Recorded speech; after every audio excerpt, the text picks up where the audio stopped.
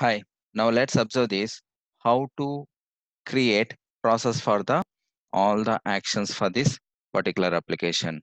Now come to Blue Prism, let's create new process for currency process. All the actions already we have created. Those actions we have to use it here. Come here, come to this. Now what are the actions we need to use? First we need to launch your application. Come to the action. Let's give it here. Double click. Launch. What is application name? Currency converter. And then observe this. So we don't have any actions because after ha we have published each and every actions we didn't save right? That is that's why it is not showing any actions there. Now let me refresh it here. Now refresh. Now let's cross check again. Come to that currency converter application. Now it is showing all the actions right? Now launch. First thing is we need to launch. Once it is launched then another actions let me copy the same same thing and then paste it. After the launch we need to enter the amount.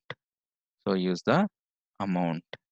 Once we have you given the amount then what we need to do? We need to give input value right? So input currency format. The action will be input when you given the input value next one will be output.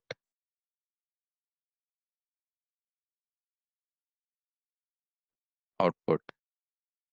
Here output. Output is also done. Then we need to click on convert button. Convert button. Once you clicked on convert button then we need to use result. Result. When you are getting the result we have a output. We need to see that output here. So we need to use that output parameter. The result will come into this particular data item.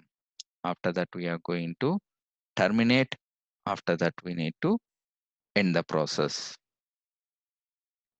give the same action. This one is terminate and then come here and then we are going to use the terminate. And let's give the each and every actions link.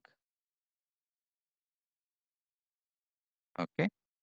Now let me run this and then let's observe so whether this is going to run it properly or not now observe this so meanwhile so when it is running if you want to see so where it is running you can able to see it here.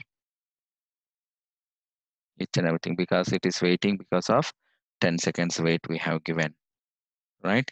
So this it is entering each and every value and then it went to the result and then it captured the result. Right? And then when it is captured captured the result and then what is our requirement? Our requirement is we have to pick the data from this excel file right? So not this one.